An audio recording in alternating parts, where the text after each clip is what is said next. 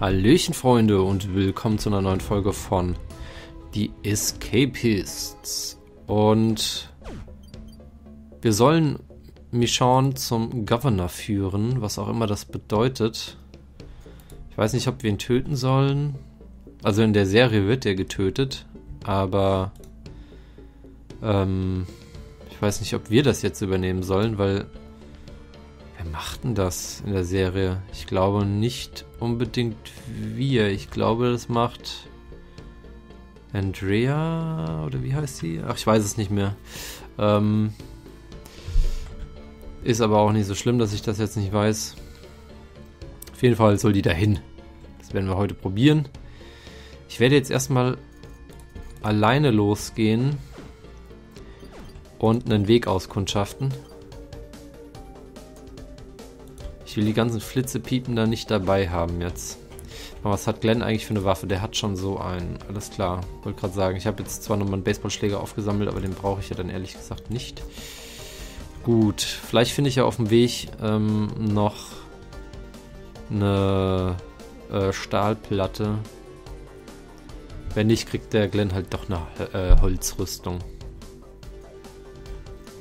So. Wo haben wir es? Wäre geil, wenn es hier ist. Nein. Wäre geil, wenn es hier ist. Warum läuft denn hier eigentlich einer wieder rum? Das ist totaler Quatsch. Der darf da überhaupt nicht rumlaufen.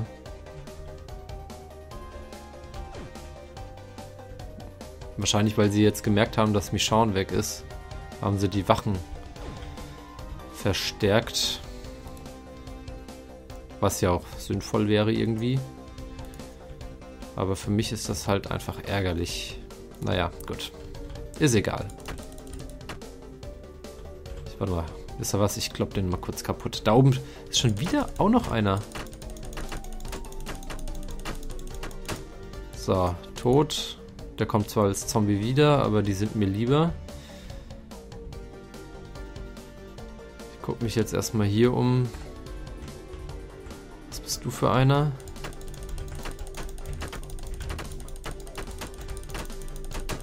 Ah, der war nicht ganz ohne. Fuck. Ich glaube, dass das Zombie-Meter hier dieses, in diesem Level nicht für die Zombies spricht, sondern für die Leute vom Governor kann das sein, weil das sind plötzlich viel mehr als vorher. Vor allem hier hatte ich ja alles schon quasi gesäubert. Perfekt, hier ist eine Stahlplatte. Ähm ich hoffe, dass ich da nicht noch mehr über den Weg laufen werde. Ah, da ist einer. Der hat eine Pistole. Ich habe aber nur noch eine Kugel. Da ist auch noch einer mit einer Pistole.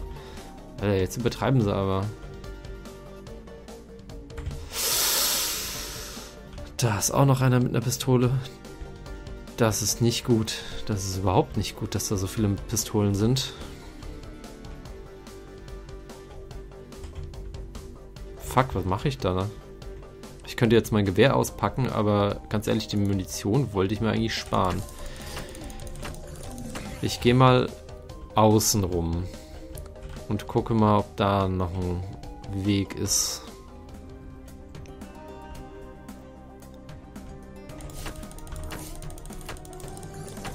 Ich darf aber natürlich nicht drauf gehen, das wäre schlecht. Warte mal, da ist noch ein Schreibtisch, den gucken wir uns mal schnell an.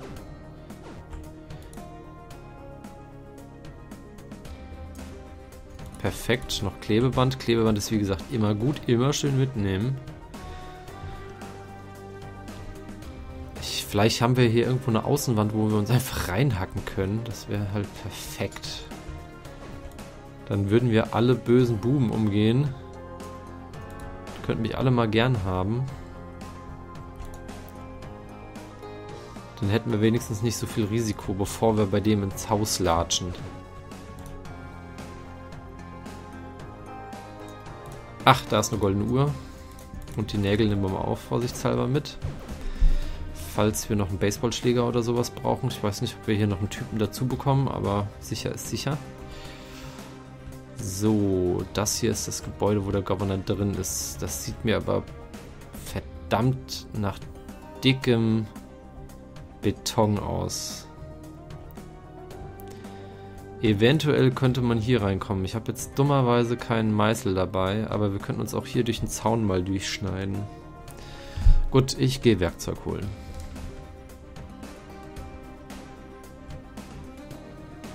Ich gehe noch kurz um das Haus drumherum. Ich will mal kurz schauen, was da noch so ist.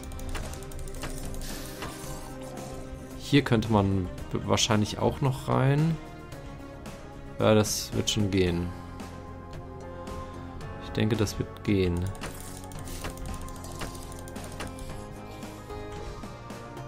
Hier räumen wir mal die Zombies alle aus dem Weg.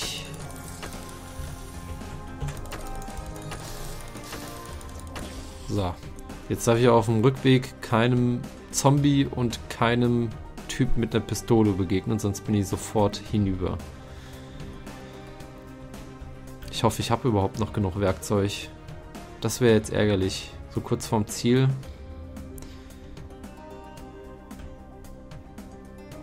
Ich könnte mir schon vorstellen, dass wir eventuell diese oder die nächste Folge mit dem Level durch sind. Warte mal, da ist doch noch ein Schreibtisch, da gehe ich mal kurz reingucken.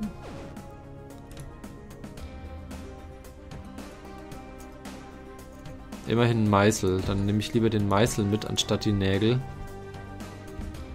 Von dem werde ich jetzt momentan wahrscheinlich etwas mehr haben. Hier, nee, hier war ich schon. Da war ich schon vorbeigelaufen, das weiß ich. Bitte komme jetzt keine entgegen. Ich habe eine 15 Lebensenergie. Gut, also fangen wir mal an. Ich stelle erstmal Glenn kurz die Rüstung her. Und drücke sie ihm in die Hand. da ist noch ein Meißel. Da sind, ah, perfekt, da sind noch mehr Meißel.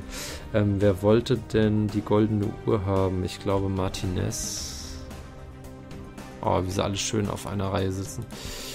So, Glenn.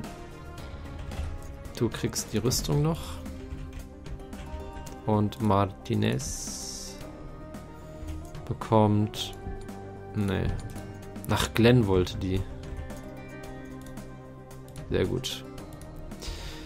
Gut, gut, gut, gut, gut, gut. Dann nehme ich jetzt zusätzlich noch Zange mit. Noch einen Meißel. gesagt, noch einen Meißel. Aber der hat nur 67%. Dann nehme ich lieber den hier mit. Der hat 100. Und mache mich kurz auf den Weg. Bitte kommt mir keiner entgegen. Glück gehabt.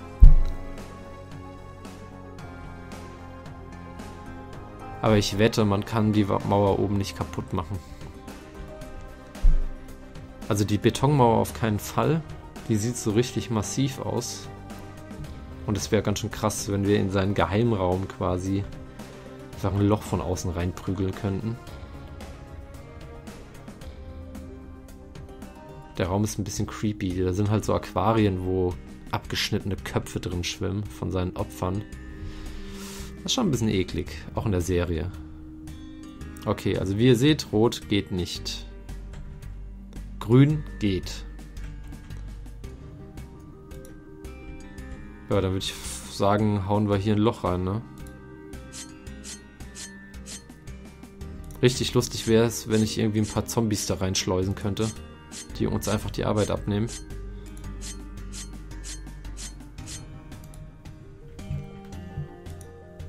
Vielleicht kann ich ja auch einzeln die Leute da rausziehen.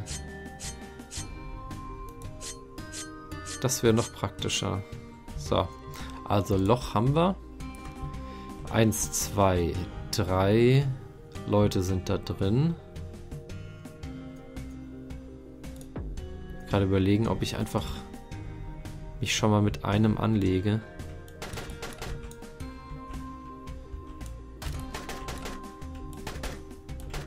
Tja, ich habe ein Gewehr, das auf ziemlich weite Entfernung schießen kann, mein Freund.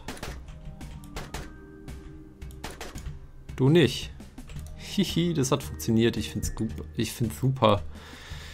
Ähm, den Meißel brauchen wir nicht mehr. Dafür haben wir jetzt eine Pistole mit neun Schuss. Eine Modif ist das eine modifizierte Pistole? Nee. Die normalen Pistolen haben auch immer nur sechs Schuss. Ich warte jetzt mal. Ich weiß nicht, ob... Boah, ich bin gerade drauf und dran, da einfach reinzugehen, ey.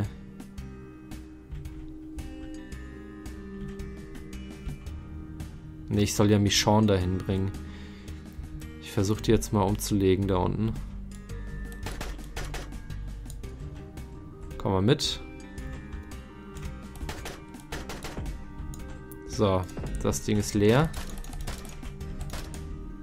Und der nächste ist tot. Dann würde ich mal sagen, ähm, eine Pistole behalte ich noch für einen von meinen Jungs. Aber ich gehe mal kurz den Zombie hier, ups, den Zombie da unten erledigen. Weil die wachen ja alle als Zombies wieder auf.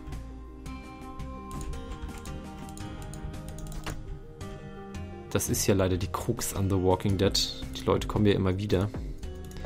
So. Da unten müsste noch irgendwo einer sein, glaube ich. Aber jetzt looten wir aber erstmal den ihre Schreibtische.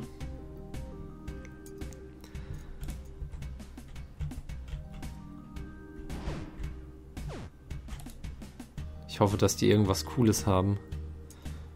Aber sieh mal einer an, der blaue Kackschlüssel. Den nehmen wir mal mit. Jetzt können wir uns überall Sachen beschaffen, rein theoretisch. Aber eigentlich brauche ich es nicht mehr. Eigentlich sind wir mit dem Level ziemlich durch. Deswegen hole ich jetzt mich schon äh, Michon. Und dann machen wir dem Governor mal ein paar Beine. Bin mal gespannt, was man dann sehen wird, weil ich schätze mal, wenn wir Michon in diesen Raum führen, wird eine Cutscene kommen. Und dann, keine Ahnung, wird sie den halt irgendwie mit ihrem Katana enthaupten, durchbohren, keine Ahnung, irgend sowas in die Richtung. Aber ich bin mir nicht sicher, ob ich das jetzt heute schon mache. Ich würde gerne den Fortschritt safen, weil ich nicht weiß, was passieren wird. Ach komm, wir gehen Risiko. Ein Risiko ein. Dann wird es ein bisschen spannender. Außer die pennen halt alle schon, aber... Komm mal mit. Moment, du kriegst noch eine Pistole.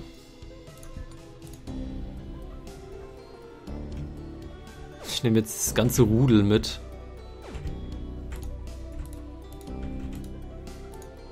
Weiß nicht, ob das sinnvoll ist, das ganze Rudel mitzunehmen, aber wir machen es einfach mal. Aber du kriegst auch noch eine Knarre. Ne, du hast schon eine Knarre. Ne, das war Michonne. Ja gut, kriegst halt nur einen Schuss, aber ist besser als nix. Den Martinez holen wir jetzt auch noch und dann räumen wir den mal die Bude aus. Digga, hier wird nicht gepennt. Hier wird mitgekommen. Ich bin jetzt echt ein bisschen angespannt gerade. Ich weiß nicht, was passieren wird. Ähm, ich werde jetzt noch zu dem Shop-Typen gehen und mir hoffentlich Munition kaufen. Ich weiß nicht, kommt natürlich darauf an, ob er welche hat oder nicht. Man weiß es ja vorher nie, was der zu verkaufen hat. Perfekt. Damit wird jetzt das MG nochmal aufmunitioniert. Und jetzt wird's spannend, liebe Freunde. Hoffentlich erschießen Glenn und Martinez nicht einfach den Governor sofort, wenn sie ihn sehen. Aber ich glaube, das Spiel wird das verhindern mit seiner Mechanik.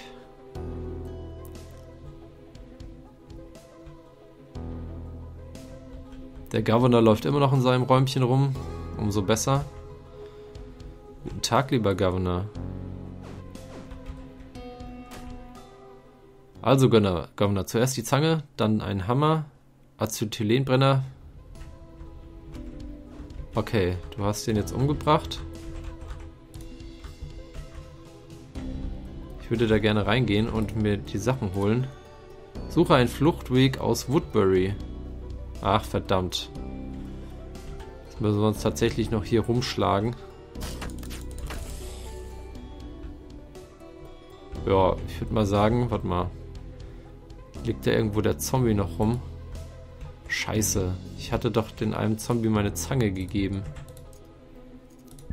Dann nehme ich einfach die so lange. Ähm, kommen wir hier raus?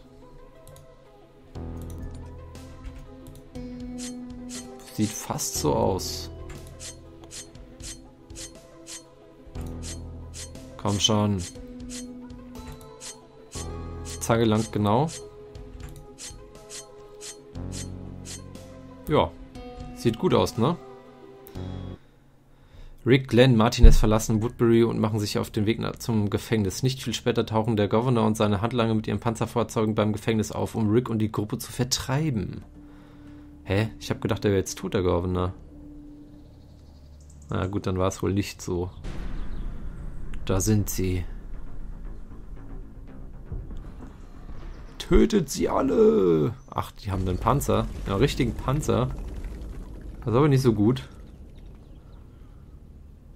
Und die Armen müssen einfach zugucken dabei. Während, eines, äh, während des Angriffs des Governors werden Rick und Karl im Verlauf des Gemetzels vom Rest der Gruppe getrennt. Sehr gut, du hast überlebt. Gesamtpunktzahl. Spielerwert, ja, komm, ein bisschen schneller. Ich will die Gesamtpunktzahl sehen. Verletzte Überlebende, ja gut. Ein paar Mal sind sie down gegangen. Und wir haben keinen Stern bekommen. Ah doch, Immerhin, ein Stern. War doch jetzt gar nicht so schlecht, würde ich mal behaupten, oder? Und ich würde sagen, in der nächsten Folge schauen wir uns dann mal Alexandria an. Kenne ich persönlich noch nicht, aber werden wir schon noch kennenlernen. Vielen Dank fürs Zuschauen und bis morgen. Tschüssi.